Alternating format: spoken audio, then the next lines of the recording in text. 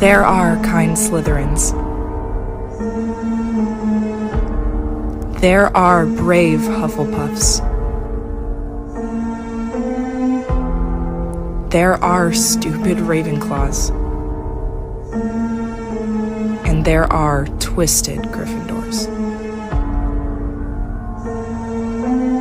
Your house does not define you, so be brave, be kind, be ambitious, and be creative no matter what house you're in, because you write your own story.